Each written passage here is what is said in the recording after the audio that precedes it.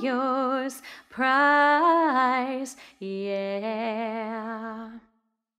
One happy birthday dot com.